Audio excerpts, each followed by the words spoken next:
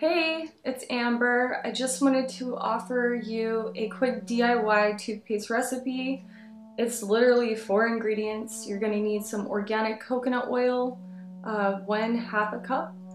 Uh, softened, you're going to want four tablespoons to five tablespoons of baking soda. Just kind of eyeball it for the consistency you're going for for a toothpaste.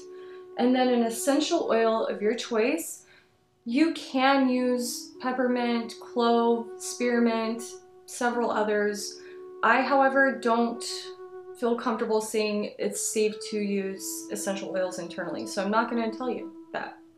I personally love oregano oil. It is meant to be ingested with 8 ounces of water, so it's perfectly safe to swallow. This stuff is amazing because it will boost your immune system. It can help you fight off certain things that we're not allowed to say on here, um, as well as being antimicrobial and anti-fungal. This stuff is a bomb.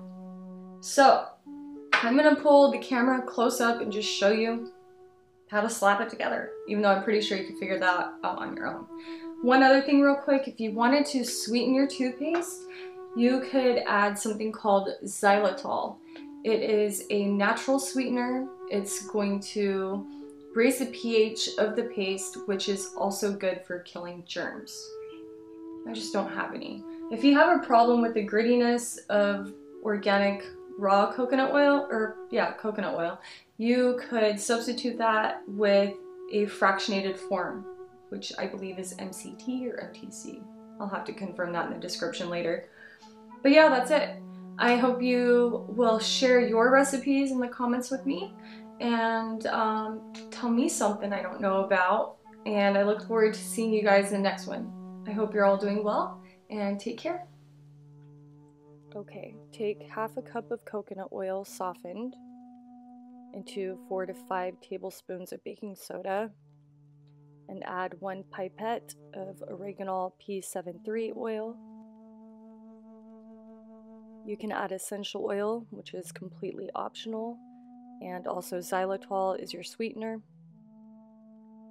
And you're going to let it cool in the refrigerator and use a clean spatula to scoop out your portion, especially if you're sharing with family or roommates. And that's it. I hope you all enjoy. Have a good one.